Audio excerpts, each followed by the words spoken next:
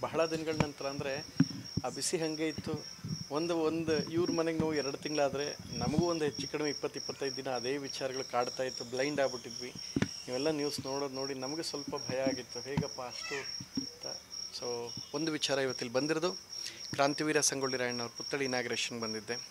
ಇಲ್ಲಿ ಬಂದು ಆ, ಕಮ್ಮನಹಳ್ಳಿ ಕೊಂಡಳ್ಳಿ ಇಲ್ಲಿ ಬಂದಾಗ ಇಲ್ಲಿ ಯಾರ್ದೋ ನನ್ನ ಸಮರ್ಥನೆಗೆ ಬಂದು, ಇಲ್ಲಿ ಬಂದು ಇವ್ರ ಮನ್ಸು ಆಲ್ರೆಡಿ ನೊಂದಿರೋರ ಮುಂದೆ ನೋಯಿಸೋ ಮಾತಾಡೋದಕ್ಕೆ ಅಥವಾ ಇನ್ಯಾನೋ ಸಮರ್ಥನೆ ಮಾಡ್ಕೊಳಕ್ಕಾಗಲಿ ಇಲ್ಲ ನನ್ನ ಮನಸ್ಸಲ್ಲಿ ಒಂದು ಕಾಡ್ತಾ ಇತ್ತು. ಇಷ್ಟು ತುಂಬ ಹೀನಾಯವಾಗಿ ಸಾವಾಗಿತ್ತು. ಸಹನವ್ರನ್ನ ಮಾತಾಡಿಸ್ಬೇಕು ಅಂತ ನನ್ನ ತಲೆಯಲ್ಲಿತ್ತು ನನ್ನ ಕೈಯಿಂದ ಏನು ಸಾಧ್ಯ? ಯಾಕೆಂದರೆ ಈಗ ಏನಾಗುತ್ತೆ ಅಂದರೆ ಯಾವುದೇ ಮಾಡಿದ್ರು ತೋರ್ಪಡಿಕೆಗೆ ಮಾಡಬೇಕಾಗತ್ತೆ ನನಗೆ ಆ ಕುಟುಂಬಕ್ಕೆ ಸತತವಾಗಿ ತುಂಬ ನ, ತುಂಬ ಕಾಡ್ತಾ ಇತ್ತು ನಂಗೆ ಆ ಪೇಯ್ನ್ ಹೇಗೆ ಅಷ್ಟು ಅವರು ಆ್ಯಂಡ್ ಅವ್ರು ಮೆಚ್ಯೂರ್ಡ್ ತುಂಬ ಮೆಚ್ಯೂರ್ಡಾಗಿ ಮಾತಾಡ್ತಾಯಿರು ಸಹನ ಮಾತಾಡ್ತಾ ಇದ್ದ ಮಾತು ನನಗೆ ಬಹಳ ಇನ್ನೋಸೆನ್ ಆ ಇನ್ನೋಸೆನ್ಸ್ ನನ್ನ ತುಂಬ ಕಿಲ್ ಮಾಡ್ತಾಯಿತ್ತು ನೋವು ನೋವು ಕೊಡ್ತಾಯಿತ್ತು ಸೊ ನೋಡಲೇಬೇಕು ಅನ್ನೋದಿತ್ತು. ಈಗ ಸತತ ನಾನ್ ಸ್ಟಾಪ್ ಒಂದು ಹೊಸ ಶೋ ಮಾಡ್ತಾ ಇದ್ದೀನಿ ಆರು ವಾರದಿಂದ. ಅದು ನನ್ನ ಹೆಲ್ತ್ ಒಂದು ದಿನವೂ ರಷ್ಟೇ ಇಲ್ಲದೆ ಇದ್ದಂಗೆ ಆಗಿತ್ತು ಇವತ್ತು ಬರಲೇಬೇಕು, ರಾ, ಮಾತಾಡಿಸ್ಬೇಕು, ನನ್ನ ಕಡೆಯಿಂದ ಏನು ಸಾಧ್ಯ ಮಾಡಬೇಕು ಇವ್ರನ್ನ ಕಾಣಬೇಕು ಅನ್ನೋದೊಂದಿತ್ತು. ಒಂದು ಈ ಸಂದಲ್ಲಿ ನಾನು ಹೇಳೋವಂಥದ್ದು ಎಲ್ರಿಗೂ. ಸರ್, ನಾನು ನಿಮಗೆ ಒಂದೇ ಮಾತು ಹೇಳೋದು. ಇಲ್ಲಿ ಬಂದು ನಿಮ್ಮನ್ನು ನೋಯಿಸುವಂಥದ್ದು ಇನ್ಯಾವುದೋ ಹೇಳಿಕೆ ಕೊಡೋಕ್ಕೆ ನಾನು ಬಂದಿಲ್ಲ. ಜನ ಯಾರಿದ್ದೀರಾ? ಏನೂ ನೋಡದೆ ನೀವು ಯಾರು ಪರವಾಗಾರು ಮಾತಾಡಿ, ಯಾರು ವಿರೋಧಾಗ ಮಾತಾಡಿ ನಿಮ್ಮ ಇಷ್ಟ ಅದು ನಿಮ್ಮ ಯೋಚನೆ ಬಿಟ್ಬಿಡ್ತೀನಿ. ನೀವು ಯಾವುದೇ ಹೇಳಿಕೆ ಕೊಟ್ಟರೆ ಸಹನ ಅವ್ರಿಗೆ ಮತ್ತು ಅವ್ರ ಕುಟುಂಬಕ್ಕೆ ಹರ್ಟ್ ಆಗುತ್ತೆ. ಆ ಮಾತಾಡ್ಬೇಕಾದ್ರೆ ಒಂಚೂರು ಯೋಚನೆ ಮಾಡಿ. ತುಂಬ ಎಕ್ಸ್ಟ್ರೀಮಾಗಿ ಒಂದಷ್ಟು ಜನ ಮಾತಾಡ್ಬಿಡ್ತಾರೆ. ತುಂಬ ಅಂದರೆ ತುಂಬ ಮಾಧ್ಯಮ ಟಿಕ್ಸ್ ನೀವು ನಿಮ್ಮ ಕೆಲಸ ಮಾಡ್ತಾ ಇದ್ದೀರ ಅಷ್ಟೇ. ನಾನು ಗಮನಿಸಿದ್ದೆ. ನಾನು ಹೇಳಿದ ಹೋದ ಸಲ ಏನಾಗಿತ್ತು, ನನ್ನ ಮನೆ ಮುಂದೆ ಅನ್ನಪೂರ್ಣೇಶ್ವರಿ ಪೊಲೀಸ್ ಸ್ಟೇಷನ್ ಇತ್ತು ನನ್ನ ಮನೆಯಿಂದ. ಬರೀ ಇಪ್ಪತ್ತ್ಮೂವತ್ತು ಹೆಜ್ಜೆ. ಪಕ್ಕದ ರೋಡ್ ಆಫೀಸ್ಗೆ ಹೋಗೋಕ್ಕಾಗ್ತಿರಲ್ಲ ಅಂತ ಸೆಕ್ಷನ್ ಒನ್ ಫಾರ್ಟಿ ಫೋರ್ ಆಗಿತ್ತು ನನ್ನ ಮನೆ ಮುಂದೆ. ಹಿಂಗೆ ಆಗಿದೆಯಲ್ಲ ಅನ್ನೋ ಕಾರಣಕ್ಕೆ ಹೇಳಿ ನೀವು ನಿಮ್ಮ ಡ್ಯೂಟಿ ನಾನು ನೋಡ್ತಾ ಇದ್ದೆ. ಎಷ್ಟೋ ಜನಕ್ಕೆ ಗೊತ್ತಿಲ್ಲ, ಜನಗಳಿಗೆ ಪ್ರಾಮಾಣಿಕವಾಗಿ ಒಂದು ಅರ್ಥ ಮಾಡ್ಕೊಳ್ಳಿ. ಅಲ್ಲೇ ನಾನು ನೋಡ್ತಾ ಇದ್ದೀನಿ ಮಾಧ್ಯಮದವ್ರು ಏನು ಮಾಡೋರು ಅಂದರೆ ಅಲ್ಲಿ ಪೊಟ್ನ ಒಂದು ತರ್ಟಿ ರುಪೀಸ್ ಆಫ್ ಯಾರೋ ರೈಸ್ ಬಾತ್ ಅಂದ್ಬಿಟ್ಟು ಒಂದು ಹತ್ತು ತೊಗೊಂಬಂದ್ರೆ ಅಲ್ಲೇ ಕೂತ್ಕೊಂಡು ನಿಂತ್ಕೊಂಡು ಬೆಳಗ್ಗೆಯಿಂದ ಸಂಜೆ ತನಕ ಮಳೆ ಇತ್ತು, ಅಷ್ಟೆಲ್ಲ ನಿಂತ್ಕೊಂಡು ಡ್ಯೂಟಿ ಮಾಡ್ತಾರೆ. ಅಟ್ಲೀಸ್ಟ್ ಏನೋ ಒಂದು ನ್ಯೂಸ್ನ ಜನಕ್ಕೆ ಏನಿದೆ ಅಪ್ಡೇಟ್ಸ್ ತಲುಪಿಸೋಣ ಅನ್ನೋ ಕಾರಣಕ್ಕೆ ಹಗಲುಗಳು ಕೆಲಸ ಮಾಡ್ತಿರ್ತಾರೆ. ಸೊ ನೀವು ನಿಮ್ಮ ಕೆಲಸ ಮಾಡ್ತೀರಾ, ಪೊಲೀಸ್ ಅವ್ರವ್ರ ಕೆಲಸ ಮಾಡ್ತಾರೆ. ಅಲ್ಲಿ ಬಂದು ಮನೆ ಹತ್ರ ನಿಂತ್ಕೊಂಡು ಹಿಂಗೆ ಆಗ್ತಿತ್ತು ಅಂದಾಗ ತುಂಬ ಜನ ಕೂಗಾಡ್ತಾ ಇರಲ್ಲ ಅನ್ನೋ ಕಾರಣಕ್ಕೆ ನನ್ನ ಮನೆ ಮುಂದೆ ಸೆಕ್ಷನ್ ಒನ್ ಫಾರ್ಟಿ ಫೋರ್ ಆಗಿತ್ತು ಸರ್ ನನ್ನ ಮನೆ ಮುಂದೆ. ಸೊ ಈ ನೋವು ನನಗಿತ್ತು, ನಾನು ಆಫೀಸ್ಗೆ ಹೋಗ್ಬೇಕು ಅನ್ನೋ ದಿನ ಶೂಟ್ ಸಿನಿಮಾ ರಿಲೇಟೆಡ್ ನೋಡೋಣ ಅಂತಿದ್ದಾಗ ಬರೀ ಒಂದು ಹೇಳಿಕೆನ ತಿರುಚಿ ಹೇಳಿದಾಗಲೇ ಅಷ್ಟಾಗಿತ್ತು. ಇನ್ನು ಸ್ವಂತ ಮಗನ ಕಳ್ಕೊಂಡಿದ್ದಾನೆ. ಬರೀ ಒಂದು ಹೇಳಿಕೆನೇ ತಿರುಚಿದ್ದು. ಒಂದು ಮಾಧ್ಯಮದಲ್ಲಿ ಬಂದಿದ್ದನ್ನು ತಿರುಚಿದ್ದೆ ಅಷ್ಟು ನೋವಾಗಿತ್ತು ಅಂದರೆ ಇನ್ನು ಸ್ವಂತ ಮಗನ ಕಳ್ಕೊಂಡಿದ್ದಾರೆ. ಸಹನ ಅವರ ಅವ್ರ ಗಂಡನ ಕ ಅವ್ರಿಗೆ ಎಷ್ಟು ನೋವಾಗಿರ್ತೀವಿ ಒಂಚೂರು ಯೋಚನೆ ಮಾಡಿ. ಇದು ಬರೀ ನಾನು ಒಂದು ಹೇಳಿಕೆ ನೋವಾಗಿದೆ ಅಂದರೆ ಸರಿ ಆಯಿತು, ನಾನು ಇದನ್ನ ವಾದನೂ ಮಾಡಲ್ಲ, ಸರಿ ಅಂತಲೂ ಹೇಳಲ್ಲ, ತಪ್ಪು ಅಂತಲೂ ಹೇಳಲ್ಲ. ನಾನು ಒಂದು ಮಾತು ನಿಮಗೆ ನೋವಾಗಿದೆ ಅಂದರೆ ಸಹನಂಗಾಗಿರೋ ನೋವು ಏನು? ಅದ್ರ ನೂರು ಸಾವಿರ ಪಟ್ಟಾಗಿದೆ. ಹೆಂಗೆ ಕುಟುಂಬ ಚೇತರಿಸ್ಕೋಬೇಕು ಒಂಚೂರು ಯೋಚನೆ ಮಾಡಿ. ಎರಡನೇ ಸರ್ ನಾನು ಇಲ್ಲಿ ಬಂದಾಗ ಹಂಗಾಗಬಾರ್ದಾಗಿತ್ತು ಒಂದು ಯಾವುದೋ ವಿಷಾದದ ನುಡಿ ಇರುತ್ತಲ್ಲ, ಒಂಥರ ಕಾಟಾಚಾರಕ್ಕೆ ಹೇಳ್ತಾರೆ, ಹಂಗೆ ಹೇಳಲ್ಲ. ಅಕ್ಷಮ್ಯ ಸರ್ ಆಗಿರೋದು. ಇವ್ರಿಗೆ ಆಗಬಾರ್ದಾಗಿತ್ತು. ಸಹನ ಅವ್ರ ಜೊತೆ ಐದು ನಿಮಿಷ ಮಾತಾಡಿ. ನೀವು ಒಂದ್ಸಲ ಮಾತಾಡೋಕ್ಕೂ ಮುಂಚೆ ಅವ್ರನ್ನ ನೋಡಿದ್ರೆ ನಮಗೆ ತುಂಬ ನೋವಾಗುತ್ತೆ ಪೇಯ್ನ್ ಆಗುತ್ತೆ. ಬೈಬೇಕು ಅಂತ ಒಂದು ಮಾತು ಆಮೇಲೆ ನೀವೆಲ್ಲ ಏನು ಹಾಕ್ತೀರಾ? ನಿಮ್ಮ ಕುಟುಂಬದಲ್ಲಿ ಇಮ್ಯಾಜಿನ್ ಮಾಡ್ಕೊಳ್ಳಿ. ಅಷ್ಟು ಕ್ರೌರ್ಯವಾದ ಸಾವು ನಿಮ್ಮ ಕುಟುಂಬದಲ್ಲಿ ಆಗಿದ್ರೆ ಎಸ್ ನೀವು ಹೇಳಿರೋ ಹೇಳಿಕೆ ಸರಿ ಅಂತಲೇ ನಿಂತ್ಕೊಳ್ಳಿ. ಆಗ ನಾನು ನನ್ನ ಮಾತನ್ನು ಎಲ್ಲವನ್ನೂ ವಾಪಸ್ ತೊಗೊಳ್ತೀನಿ. ದಯವಿಟ್ಟು ನೊಂದಿರೋ ಕುಟುಂಬಕ್ಕೆ ಯಾರೂ ನೋಯಿಸುವಂಥ ಪ್ರಯತ್ನ ಮಾಡಬೇಡಿ. ಸೀರಿಯಸ್ಲಿ ನನ್ನ ಕೈಯಿಂದ ಏನು ಸಾಧ್ಯ ಈ ಕುಟುಂಬಕ್ಕೆ ನಾನು? ಇಲ್ಲಿ ಮಾಡೋದು ನನಗೇನು ಕಷ್ಟ ಅಲ್ಲ. ಈಗ ಒಂದಷ್ಟು ಇದೆ. ಹೇಗೆ ಅಂದರೆ, ಈಗ ಸಮಾಜದಲ್ಲಿ ಹೇಗಾಗ್ಬಿಟ್ಟಿದ್ದೀವಿ ನಾವು ಅಂತ ಹೇಳಿದ್ರೆ, ಒಂದು ಒಳ್ಳೆ ಕೆಲಸ ಮಾಡೋದ ತೋರ್ಪಡಿಕೆ ಮಾಡಿಕೊಂಡೇ ಮಾಡಬೇಕು ಅನ್ನೋದೊಂದು ಆ ಒಂದು ದಾರುಣ ವ್ಯವಸ್ಥೆ ಹೊರಟೋಗಿದೆ ಸಮಾಜ ಈಗ. ಹಂಗೆ ಹೊರಟೋಗಿದೆ.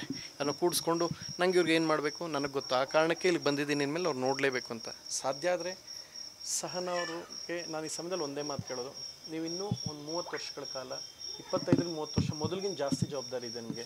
ನೀವು ಇನ್ನೂ ಆರೋಗ್ಯವಂತರಾದರೆ ಆ ಮಗು ಪ್ರೌಢಾವಸ್ಥೆ ಬರೋ ತನಕ ಒಂಚೂರು ಎಚ್ಚರಿಕೆಯಿಂದ ಇರಬೇಕಾದ ನೀವು. ಆ ಒಂದು ಮಗು ಬೆಳೆಯೋ ತನಕ ಇಲ್ಲಾಂದರೆ ಯಾವುದೇ ಆಸರೆ ಇಲ್ಲದೆ ಇದ್ದಂಗೆ ಆಗುತ್ತೆ. ಇದನ್ನು ದಯವಿಟ್ಟು ತಾವು ತಲೆಯಲ್ಲಿ ಇಟ್ಕೊಳ್ಳಿ. ನಾನು ಅದನ್ನು ಹೇಳೋಕ್ಕೆ ಬಂದಿದ್ದು ಒಂದು. ಸರ್ ನಿನ್ನೆ ಒಂದು ಪೂಜೆ ಆಗಿದೆ. ಅಂದರೆ ದರ್ಶನ ಜೈಲಿಗೆ ಹೋಗಿರೋದ್ರಿಂದ? ನನಗೆ ಅದಕ್ಕೆ ಸಮಯ ಇಲ್ಲ ಸರ್. ಪೂಜೆ ನಾನು ಬೆಳಗ್ಗೆ ಎದ್ದ ತಕ್ಷಣ ಈಶ್ವರಂಗೆ ಮಾಡ್ತೀನಿ ಸರ್. ಈಶ್ವರಂಗೆ ಮಾಡ್ತೀನಿ ನಮ್ಮ ಮನೆ ದೇವ್ರ ಕಬ್ಬಾಳಮ್ಮಗೆ ನಮಸ್ಕಾರ ಮಾಡ್ತೀನಿ ಸರ್. ಒಳ್ಳೆ ಸಿನಿಮಾ ಸಿನಿಮಾ ಇಂಡಸ್ಟ್ರಿಗೆ ಪೂಜೆ ಆಗಬೇಕು ಅಂದರೆ ಸರ್? ಅದೆಲ್ಲ ಸರ್, ಅಲ್ಲಿಗಾಗಿದೆ, ಇಲ್ಲೂ ನೋವಾಗಿದೆ. ನನಗೆ ಮೊದಲು ಪೂಜೆ ಮಾಡಬೇಕು ಅಂದಾಗ ನಾನು ಬೆಳಗ್ಗೆ ತಕ್ಷಣ ಈಶ್ವರಿಗೆ ಮಾಡ್ತೀನಿ.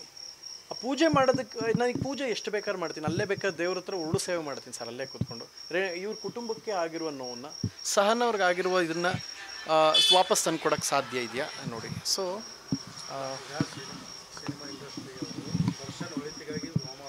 ಸರ್, ಅದು ಚಿತ್ರಾಂಗದ ಒಳಿತಿಗೆ ಅಂತ ನನಗೆ ಬಂದ ಮಾಹಿತಿ. ಜಗ್ಗೇಶ್ ಸರ್ ಹೇಳಿದ್ದಾರೆ. ಯಾಕೆಂದರೆ ಜಗ್ಗೇಶ್ ಸರ್ ಹಾಗೆಲ್ಲ ಇಡವಲ್ಲ, ಅವ್ರು ಮಾತಾಡ್ಬೇಕಾದ್ರೆ ತುಂಬ ತೂಕ. ಬಹಳ ಜ್ಞಾನಿ ಇದ್ದಾರೆ ಅವರು. ಸೊ ಅವರು ಹಾಗೆಲ್ಲ ಲೂಸ್ ಸ್ಟಾಕ್ ಎಲ್ಲ ಮಾತಾಡಲ್ಲ. ಅವ್ರು ಹೇಳಿದ್ದಾರೆ, ಚಿತ್ರಾಂಗದ ಒಳಿತು ಯಾಕೆಂದರೆ ಒಂದು ವರ್ಷದಿಂದ ಸಕ್ಸಸ್ ಇಲ್ಲ ಸರ್. ಆ ಕಾರಣಕ್ಕೆ ಮಾಡೋದು ಪೂಜೆ ಅಂತ ಆಗಿತ್ತು. ಸೊ ನನಗೆ ಒಂದೇನು ಗೊತ್ತಾ ಸರ್? ಈ ಬಹಳಷ್ಟು ಜನ ಹೇಳ್ತಾರೆ, ವ್ಯಕ್ತಿಗಿಂತ ಪಕ್ಷ ದೊಡ್ಡದು ಅಂತಾರೆ ಗೊತ್ತಾ? ಹಾಗೆಯೇ ಹಾಗೆ ವ್ಯಕ್ತಿಗಿಂತ ಚಿತ್ರರಂಗ ದೊಡ್ಡದು ಸರ್. ಅಣ್ಣವರು ವಿಷ್ಣು ಸರ್ ಇದ್ದಾಗಿಂದ ಚಿತ್ರಾಂಗ ನಡೀತಾ ಇದೆ. ಆ ಕಾಲದಿಂದ ನಡ್ಕೊಂಡು ಇದೆ. ಅವರೆಲ್ಲರೂ ಚಿತ್ರಾಂಗದಲ್ಲಿ ಬಹಳ ದೊಡ್ಡ ಹೆಸರು ಮಾಡಿ, ಬಹಳ ಹಿರಿಯ ಕಲಾವಿದರೆಲ್ಲ ಊಟ ಮಾಡಿದ್ದಾರೆ ನಮ್ಮ ಚಿತ್ರಾಂಗದಲ್ಲಿ ಭವಿಷ್ಯ ಕಟ್ಕೊಂಡಿದ್ದಾರೆ. ಸೊ ನಮಗೆ ಈ ಸಮಯದಲ್ಲಿ ಆ ಚಿತ್ರಂಗದ ಹಿತ ಮುಖ್ಯ. ಅದಕ್ಕೋಸ್ಕರ ಪೂಜೆ ಮಾಡಿದ್ದಾರೆ ಅಂತಲೇ ಅಂದ್ಕೊಳ್ಳೋಣ. ಇಲ್ಲಿ ಯಾರೂ ಒಬ್ಬರು ಪರವಾಗಿ ಮಾಡೋಕ್ಕೆ ಸಾಧ್ಯ ಇಲ್ಲ. ಯಾಕೆಂದ್ರೆ ಜಗ್ಗೇಶ್ ಅವ್ರು ಬಿಡಿಸಿ ಹೇಳಿದ್ದಾರೆ. ಜಗ್ಗೇಶ್ ಸರ್ ಹಂಗೆಲ್ಲ ಹೇಳಲ್ಲ. ಸೊ ಅವರು ಬಹಳ ಯೋಚನೆ ಮಾಡೇ ಮಾತಾಡ್ತಾರೆ. ಒಂದು ನಾನು ಅದನ್ನು ಒಪ್ಕೋತೀನಿ. ಎರಡನೇದು, ನನಗೆ ಸರ್ ಪೂಜೆಗೆ ಹೋಗೋಕ್ಕಾಗಿಲ್ಲ ಸರ್. ನನ್ನ ಮನೆಯಿಂದ ಬರೀ ಮೂರು ಕಿಲೋಮೀಟ್ರ್, ನಾಲ್ಕು ಕಿಲೋಮೀಟರ್ ಇದೆ ಚಾಮರಾಜಪೇಟೆ ಕಲಾವಿದರ ಸಂಘ.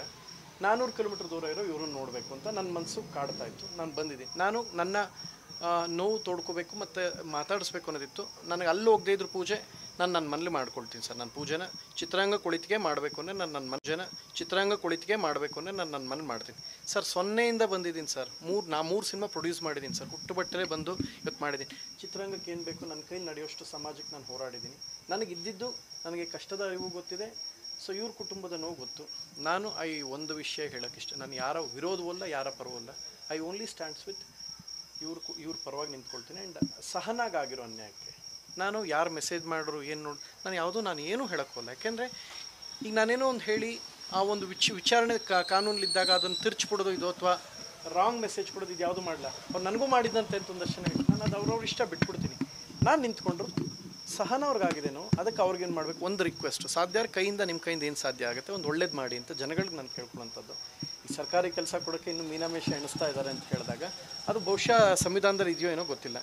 ಅಟ್ಲೀಸ್ಟ್ ಈ ಸಮಯದಲ್ಲಿ ತುಂಬ ದೊಡ್ಡ ಮಟ್ಟದ ಕ್ರೌರ್ಯ ಇವ್ರ ಕುಟುಂಬದ ಮೇಲೆ ಆಗಿದೆ ಎಲ್ಲರೂ ಕೈ ಜೋಡಿಸಿ ನಮ್ಮ ಕೈಯಿಂದ ಏನು ಸಾಧ್ಯ ಮಾಡೋಣ. ಈಗ ನಾನು ವಾಪಸ್ ಅಂತೂ ತಂದ್ಕೊಡೋಕ್ಕೆ ಸಾಧ್ಯ ಇಲ್ಲ. ಆ್ಯಂಡ್ ಇವ್ರು ಕೇಳ್ಕೊಂಡಂಗೆ ಇವ್ರೊಂದು ಮಾತು ಹೇಳೋದು, ತುಂಬ ನನ್ನ ನನ್ನ ಮಗನಿಗಾಗಿರೋ ಅನ್ಯಾಯಕ್ಕೆ ನ್ಯಾಯ ಸಿಗಬೇಕು ಅಂತ. ನ್ಯಾಯ ಏನು ಅಂತ ಅವ್ರನ್ನ ಕೇಳಿ. ಯಾವ ಹಂತ ಯಾವ ಥರ ಬೇಕು ಅಂತ ಅವ್ರನ್ನ ಕೇಳಿ. ನನಗಿರೋದು ಒಂದೇ. ಇವ್ರ ಕಣ್ಣೀರು ನಿಲ್ಲಬೇಕು ಸಹನಾಗೆ ಸಮಾಧಾನ ಸಿಗಬೇಕು, ಅವರ ಮುಂದಿನ ಭವಿಷ್ಯದ ಕಡೆ. ಯಾಕೆಂದ್ರೆ ಈ ಸಹಿಂದಿಗ ಈ ಸಮಯದಲ್ಲಿ ಅವ್ರೊಂದು ಚೂರು ಎಫೆಕ್ಟ್ ಆದರೂ ಬಿ ಪಿ ಹೆಚ್ಚು ಕಡಿಮೆ ಆದರೆ ಆ ಹುಟ್ಟೋ ಮಗುಗೆ ಎಫೆಕ್ಟ್ ಆಗುತ್ತೆ. ಸೊ ಅವನ ಕಾರಣಕ್ಕೆ ಬಂದೆ. ನಾನೇನು ಮಾಡಬೇಕು? ನನಗೆ ಗೌರವ ಇದೆ. ನನಗೆ ಅದು ಮಾಡ್ತೀವಿ. ನಮ್ಮ ಪ್ರೀತಿ, ನಮ್ಮ, ನನ್ನ ಒಂದು ಒಂದು ಗೌರವನ ಹಿರಿಯರಿಗೆ ಏನು ತೋರಿಸ್ಬೇಕು? ನಾನು ತೋರ್ಸೋಕೆ ಬಂದಿದ್ದೀನಿ ಅಷ್ಟೇ. ಇಲ್ಲಿ ಬಂದ್ಬಿಟ್ಟು ಮಾತ್ರ ನಾನಂತೂ ಅವ್ರಂಗೆ ಮಾಡಿರ್ಲಂತೆ ಹಿಂಗಿಲ್ವಂತೆ ಅಂತ ನಾನೇ ಜಡ್ಜ್ಮೆಂಟ್ ಕೊಡೋಕೆ ಬಂದಿಲ್ಲ. Because I am not a judge ನಾನು ಒಬ್ಬ ಸಾಮಾನ್ಯ ಹುಡುಗ. ಸಾರ್ವಜನಿಕಲ್ಲಿ ಸಾಮಾನ್ಯ. ಇಲ್ಲಿ ಜಡ್ಜ್ಮೆಂಟ್ ಕೊಡೋಕೆ ಬಂದಿಲ್ಲ. ಒಂದೇ ಒಂದು ನಾನಿಲ್ಲ ನೀವೆಲ್ಲ ಹೇಳ್ತಾ ಇರೋದು, ನೀವೆಲ್ಲ ಮಾಧ್ಯಮದವರು ಅಥವಾ ಪೊಲೀಸ್ ಇಲಾಖೆ ನಿಮ್ಮ ಕೆಲಸ ಮಾಡ್ತಾ ಇದ್ದೀರಾ, ಬಹಳಷ್ಟು ಕಾಮೆಂಟ್ಸ್ ನೀವು ಕೆಟ್ಟ ಕಾಮೆಂಟ್ಸ್ನ ಒಂದಷ್ಟು ಫೇಸ್ ಮಾಡಿದ್ದೀರಾ. ಇನ್ನು ನೀವು ನೋಡದೇ ಇರೋಂಥದ್ದಲ್ಲ. ನಿಮಗೆಲ್ರಿಗೂ ಈ ಸಮಯದಲ್ಲಿ ನಾನು ಒಂದು ಮಾತು ಹೇಳೋಕ್ಕೆ ಇಷ್ಟಪಡ್ತೀನಿ. ಇವ್ರಿಗೆ ತುಂಬ ನೋವಾಗಿದೆ. ನಿಮಗೂ ಒಂದಷ್ಟು ಮುಜುಗರಗಳಾಗಿದೆ ನೀವು ಅಟ್ಲೀಸ್ಟ್ ರಿಪೋರ್ಟಿಂಗ್ ಮಾಡೋ ಸಮಯದಲ್ಲಿ ನೀವು ಹೇಳುವಂಥ ವಿಚಾರಗಳೆಲ್ಲ ನೀವು ಸಿ ವಿಚಾರ ಹೇಳಿದಾಗ ಕಾಮೆಂಟ್ ಸೆಕ್ಷನ್ ಹಾಕ್ಬಿಡ್ತಾರೆ. ಒಂದಷ್ಟು ಆಗಿದೆ. ಏನೂ ಮಾಡ್ಲಿಕ್ಕಾಗಲ್ಲ ದಯವಿಟ್ಟು ಆಗಿರೋದು ಬಿಡಿ ಸರ್, ನಾನು ಇಪ್ಪತ್ತು ದಿನ ಆಯ್ತು ಚೇತರಿಸ್ಕೊಳ್ಳಿ ಸರ್, ನಂದು ಒಂದು ಹೇಳಿಕೆಗೆ ಇಪ್ಪತ್ತು ದಿನ ಬೇಕಾಯ್ತು ಸರ್.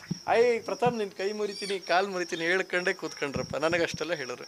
ನನಗೆ ಅವೆಲ್ಲ ನೋಡಿದಾಗ ನಾನು ಹೇಳಿದ್ದೇ ಬೇರೆ, ಇವ್ರು ತಿರ್ಚಿದ್ದೆ ಆ್ಯಕ್ಚುಲಿ ಅವತ್ತಾಗಿದೆ, ಎಷ್ಟೋ ಜನಕ್ಕೆ ಗೊತ್ತೇ ಇಲ್ಲ ಸರ್. ಮಾಧ್ಯಮದವ್ರೊಬ್ರು ಏನಾಯ್ತು ಗೊತ್ತಾ? ಎಷ್ಟೋ ಜನಕ್ಕೆ ಗೊತ್ತಿಲ್ಲ. ಒಬ್ಬರು ಹೇಳಿದ್ರು ಪ್ರಥಮ್ ನಿಮ್ಮ ಸಿನಿಮಾ ರಿಲೀಸಿಗೆ ಮಾತ್ರ ಬರ್ತೀರಾ? ಇನ್ನು ಸಮಾಜದಲ್ಲಿ ಇಂಥ ಒಂದು ಘಟನೆ ಆಗಿದೆ, ಒಂದು ಧ್ವನಿ ಎತ್ತಕ್ಕಾಗಲ್ವಾ ನಿಮಗೆ ಅಂತ ನಿಮ್ಮಲ್ಲೇ ಒಬ್ಬ ಪತ್ರಕರ್ತರು ಕೇಳಿದ್ರು. ನನಗೇನಂದೆ ಗೊತ್ತಾ? ಹೌದು ಕರೆಕ್ಟ್ ಅಲ್ವಾ? ಪತ್ರಕರ್ತರು ಕೇಳೋದು ಸರಿಯಾಗಿದೆ. ಇದ್ರ ಬಗ್ಗೆ ಏನು ಹೇಳ್ತೀರ? ಅಂದ್ರೆ ಕಾನೂನು ಅವ್ರ ಕೆಲಸ ಮಾಡಲಿ, ಪೊಲೀಸವ್ರು ಇವ್ರ ಕೆಲಸ ಮಾಡಲಿ ಬಿಟ್ಬಿಡ್ರಪ್ಪ ನೀವು ಯಾಕೆ ತಲೆ ಕೆಡಿಸ್ಕೋತೀರ ಅಂದೆ. ಪ್ರಥಮ್ ಈ ಅಂಧಾಭಿಮಾನಿಗಳಿಗೆ ಏನು ಹೇಳ್ತೀರಾ ಅಂದರು. ನನ್ನ ಮನೆ ಮುಂದೆ ಸೆಕ್ಷನ್ ಒನ್ ಫಾರ್ಟಿ ಫೋರ್ ಆಗಿದೆ ಅಂದಾಗ, ಒಂದು ಪದನೂ ಹೇಳಬಾರ್ದು. ನಾನು ಒಂದು ಪದ ಹೇಳಿದ್ದೆ ತಪ್ಪು ಅಂದರೆ ಅಲ್ಲಿ ಕೊಲೆ ಆಗಿದೆಯಲ್ಲ, ಅದಕ್ಕಿಂತ ದೊಡ್ಡ ತಪ್ಪಲ್ವ ಸರ್? ನಾನು ಹೇಳಿದ ಮಾತಿಂದ ಯಾರಿಗಾರು ನೋವಾಗಿದೆ ಅಂದರೆ ನಾನು ಅದನ್ನು ಸಮರ್ಥನೆ ಮಾಡ್ಕೊಳಕ್ಕೋಲ್ಲ ನನಗಿಂತ ಜಾಸ್ತಿ ನನಗೆ ಇಪ್ಪತ್ತು ದಿನ ನೋವು ಕೊಟ್ಟರು ಇನ್ನು ಈ ಕುಟುಂಬಕ್ಕೆ ಶಾಶ್ವತವಾದ ನೋವು ಕೊಡಿ.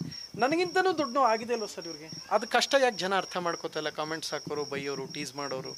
ನಾನು ಯಾರನ್ನೂ ವಿರೋಧಿಸೋಕೆ ಬಂದಿಲ್ಲ. ದಯವಿಟ್ಟು ಇನ್ನೊಂದು ಸಲ ಇದನ್ನೆಲ್ಲ ನಿಲ್ಲಿಸಿ. ಇವ್ರ ಜಾಗದಲ್ಲಿ ಸಹನಾ ಜಾಗದಲ್ಲಿ ಅಥವಾ ಇವ್ರ ಜಾಗದಲ್ಲಿ ನಿಂತ್ಕೊಂಡು ಒಂದು ಸಲ ಯೋಚನೆ ಮಾಡಿ. ಆ್ಯಂಡ್ ಅಷ್ಟು ಮಾತ್ರ ನಾನು ಹೇಳಕ್ಕೆ ಸಾಧ್ಯ. ನನ್ನ ಕಡೆಯಿಂದ ಏನು ಸಾಧ್ಯ? ನಾನು ಮಾಡಲಿಕ್ಕೆ ಬಂದು ನನ್ನ ಗೌರವ ನಾನು ತೋರಿಸೇ ತೋರಿಸ್ತೀನಿ. ಥಾ ಆ್ಯಂಡ್ ಎರಡನೇದು ಮಾಧ್ಯಮದವ್ರಿಗೆ ಒಂದೇ ಒಂದು ಬಹಿರಂಗ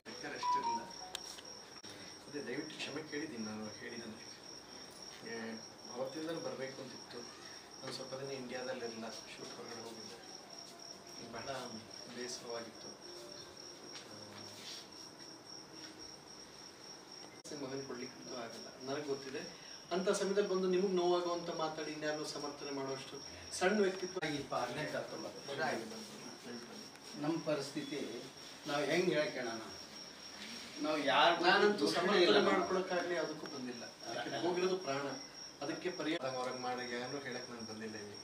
ನನಗೆ ಬಹಳ ಬೇಸರ ನಿಮಗೆ ಬಿಟ್ಟಿದ್ರೆ ನಾನು ಯಾರ ದಿನ ಕಣ್ಣೀರಲ್ಲಿ ಕೈ ತೊಳಿತಾ ನಾನು ಇಲ್ಲಿ ಬಂದು ಅವ್ರ ಮಾಡಿಲ್ಲ, ತಮ್ಮ. ಅಂದ್ಕೊಂಡು ನಿಮ್ಮ ಫ್ಯಾಮಿಲಿಯಲ್ಲಿ ಆಗಿದ್ರೆ ನೀವು ಯಾವ ರೀತಿ ವರ್ತನೆ ಮಾಡ್ತಿದ್ರಿ? ನಾನು ಏನು ಹೇಳಲ್ಲ ನಾನು ಇಷ್ಟೇ ಹೇಳಿದ್ದು. ನನಗೆ ನಿಮ್ಮ ಕಣ್ಣೀರು ಮತ್ತು ಸಹನವ್ರು ನೋಡಿದಾಗ ಬೇಸರ ಆಯಿತು.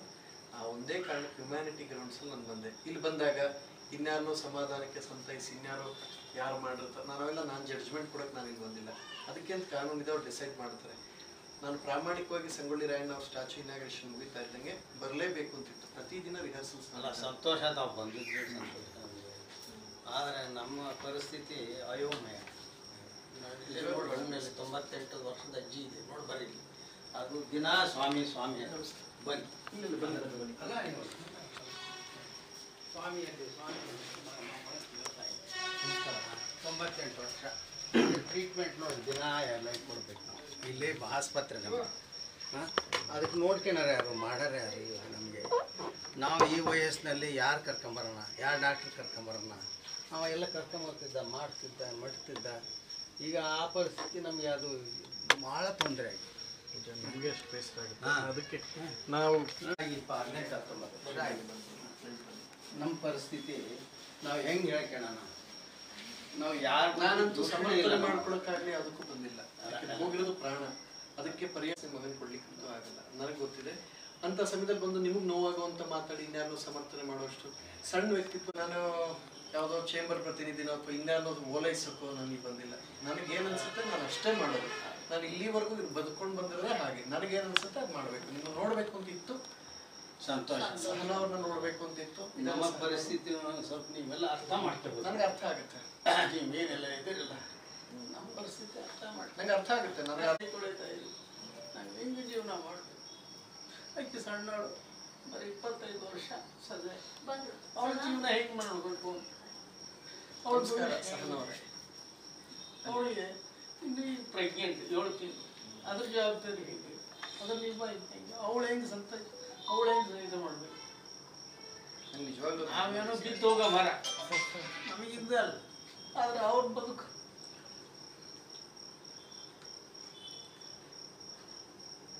ಏನ ತಪ್ಪಿ ಒಂದು ಪರಿಹಾರ ಇರುತ್ತಲ್ಲ ಸರ್? ಇದು ಇದು ಈ ಈ ಥರ ಮಾಡೋದು ಸರಿನಾ? ನಮ್ಮಲ್ಲಿ ಏನಾಗೋಗಿದೆ ಅಂದ್ರೆ ಇದು ಸಮರ್ಥನೆ ಮಾಡ್ಕೊಳ್ಳೋ ಒಂದು ಸಮರ್ಥನೆ ಅಲ್ಲ. ಬಿಡಿ, ನಾವು ಸಮರ್ಥನೆ ಅಂತ ಕೇಳ್ತಾ ಇಲ್ಲ. ಆ ತಪ್ಪು ಮಾಡಿದಾನೆ ಇಲ್ಲ. ಅನ್ಕೊಳ್ಳೋಣ. ತಪ್ಪು ಮಾಡಿದ್ದಾನೆ ಅದಕ್ಕೆ ಈ ರೀತಿನ ಇದೇನೇ ಬಾ ಅಂತಿಮ ಪರಿಹಾರ ಇತ್ತಾ ಕಾನೂನು ಇರ್ಲಿಲ್ವಾ? ತಂದೆ ತಾಯಿ ಇರ್ಲಿಲ್ವಾ? ಊರಲ್ಲಿ ದೊಡ್ಡವ್ರು ಇರ್ಲಿಲ್ವಾ? ಹೇಳಕ್ ಹೇಳ ಮಾಡ್ಲಿಕ್ಕೆ. ಆಗಿದ್ದು ಬಿಟ್ಟು ನಮ್ಗೆ ಗೊತ್ತಿಲ್ಲ. ಯಾರ ಅಪರಾಧಿಗಳು ಅಂತ ನಮ್ಗೆ ಗೊತ್ತಿಲ್ಲ. ಆದ್ರೆ ಅವ್ರಿಗೆ ಮಾತ್ರ ನನ್ನ ಮಗನಿಗೆ ಆತ್ಮಕ್ಕೆ ಶಾಂತಿ ಸಿಗ್ಬೇಕಂದ್ರೆ ಅವರಿಗೆ ಶಿಕ್ಷೆ ಆಗಲೇ ಇರಲಿ ಅವ್ರಿಗೆ ಯಾರ ಆಗಿರಲಿ ಎಂಥದ್ದು ತಮ್ಗೆ ಗೊತ್ತಿಲ್ಲ. ಕಾನೂನು ಪ್ರಕಾರ ಯಾರು ಇರ್ತಾರೆ ಅವ್ರು ತಪ್ಪು ಕಂಡು ಹಿಡಿದು ಅವ್ರಿಗೆ ಶಿಕ್ಷೆ ಕೊಡಿಸಿದ್ರೆ ನಮಗೆ ಸಮಾಧಾನ. ಆತ್ಮಕ್ಕೆ ಶಾಂತಿ ಸಿಗುತ್ತೆ ಅಂತ ನಾನು ಇಲ್ಲ ಸಿದ್ದರಾಮಯ್ಯ ಅವ್ರು ಹಂಗೆಲ್ಲ ಮಾಡಲ್ಲ. ನಾನು ವೈಯಕ್ತಿಕವಾಗಿ ನೋಡ್ದಂಗೆ ಇಂಥದಕ್ಕೆಲ್ಲ ಎನ್ಕರೇಜ್ ಎಲ್ಲ ಮಾಡಲ್ಲ. ಅದೇನಿದೆ ಕಾನೂನು ಯಾವ ಕಾನೂನು ಪ್ರಕಾರ ಒಂದು ಮಾತು ಹೇಳ್ತೀನಿ ಕೇಳಿಸ್ಕೊಡಿ ಸರ್. ನಾನು ಹೆಚ್ಚೇನು ಮಾತಾಡೋಕ್ಕೋಗಲ್ಲ. ಆ, ಯಾವ್ದಾದ್ರು ಮುಚ್ಚಾಕಬೇಕು ಅಂತ ಇದ್ದಿದ್ರೆ ಇಲ್ಲಿ ಇಷ್ಟು ವಿಷಯ ದೊಡ್ಡದಾಗ್ತಾ ಇಲ್ಲ. ಅದರ ಅರ್ಥ ಪೊಲೀಸರಿಗೆ ಮತ್ತೆ ಸರ್ಕಾರಕ್ಕೆ ವಿಷಯ ಗೊತ್ತಾಗಿದೆ ನೋವಾಗಿದೆ. ಅವರು ಯಾರಿಗೆ ಏನಾಗಬೇಕು ಅನ್ನೋದನ್ನ ಬಹಳ ಸ್ಪಷ್ಟವಾಗಿ ತಲೆಯಲ್ಲಿ ಇಟ್ಕೊಂಡೆ ಪೊಲೀಸ್ ಅವ್ರಿಗೆ ಫ್ರೀ ಹ್ಯಾಂಡ್ ಕೊಟ್ಟಿದ್ದಾರೆ. ನಿಮ್ಗೆ ಆ ಗೊಂದಲ ಬೇಡ. ಇಲ್ಲದೆ ಇದ್ದರೆ ಇಷ್ಟು ರಾಜ್ಯ ರಾಷ್ಟ್ರ ತಿರುಗಿ ನೋಡೋಂಗೆ ಆಗ್ತಿಲ್ಲ ಒಂದು. ಎಲ್ಲರಿಗೂ ಆ ಜವಾಬ್ದಾರಿ ಇದೆ. ಸಿದ್ದರಾಮಯ್ಯ ಹಂಗೆಲ್ಲ ಮಾಡಲ್ಲ. ನಾನು ವೈಯಕ್ತಿಕವಾಗಿ ಅವ್ರನ್ನ ಬಂದೆ. ಇಲ್ಲ ಅವಾಗ ನಾವು ಧನ್ಯವಾದ ತಿಳಿಸ್ತೀವಿ. ಸರ್ಕಾರ ಇಲ್ಲ ಯಾಕೆಂದ್ರೆ ಬೇರೆ ಪ್ರಾಮಾಣಿಕವಾಗಿ ಮಾಡ್ತಾ ಬೇರೆ ಯಾರಿದ್ರು ಇನ್ಫ್ ಅಲ್ಲ ಯಾವುದೇ ಇಲ್ಲಿ ಒಂದು ಇನ್ಫ್ಲುಯೆನ್ಸ್ ಆಗ್ತಿತ್ತೋ ಅಥವಾ ಇಷ್ಟು ಸೌಂಡ್ ಆಗ್ತಿತ್ತು ಗೊತ್ತಿಲ್ಲ ಬಟ್ ನಾನು ವೈಯಕ್ತಿಕವಾಗಿ ಅವ್ರ ವ್ಯಕ್ತಿನ ಬಂದೆ. ಆ, ಇಲ್ಲಿ ಅವ್ರು ಇಷ್ಟು ಫ್ರೀ ಹ್ಯಾಂಡ್ ಕೊಡದೇ ಇದ್ರೆ ಇಷ್ಟು ಸತ್ಯ ಇಷ್ಟು ಹೊರಗಡೆ ಬರ್ತಿರ್ಲಿಲ್ಲ. ಬಂದಿದೆ ಅಂದ್ರೆ ನಾವು ಕಾನೂನಿನ ಮತ್ತೆ ಬೇರೆ ಯಾರಿಗೂ- ಯಾರಿದ್ರು ಸ್ವಲ್ಪ ಕಷ್ಟ ಆಗಿರೋದು. ಬಗ್ಬಿಡೋರು. ಸಿದ್ದರಾಮಯ್ಯ ಬಗ್ಗೆ ನಾನು ಐ ನೋ ಹಿಮ್ ಪರ್ಸನಲಿ ನನ್ನ ನನಗೆ ವೈಯಕ್ತಿಕವಾಗಿ ಗೊತ್ತು ನಾನು ಎಲ್ಲ ಸಿನಿಮಾ ಕ್ಲಾಕ್ಗೂ ಬಂದಿದ್ದಾರೆ.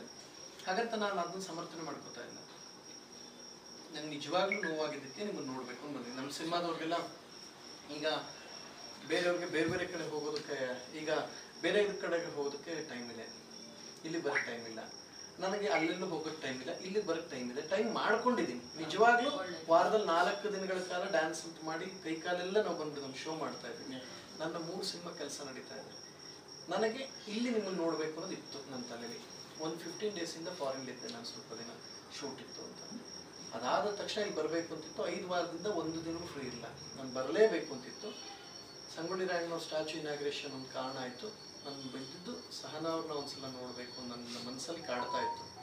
ಸೊ ನಮ್ಮ ನಿಮ್ಮನ್ನ, ಸಹನವನ್ನ ಮೊದಲನೇ ದಿನ ಮಾತ್ರನೇ ನಾನು ನೋಡಿದೆ. ಬಹಳ ತೂಕವಾಗಿ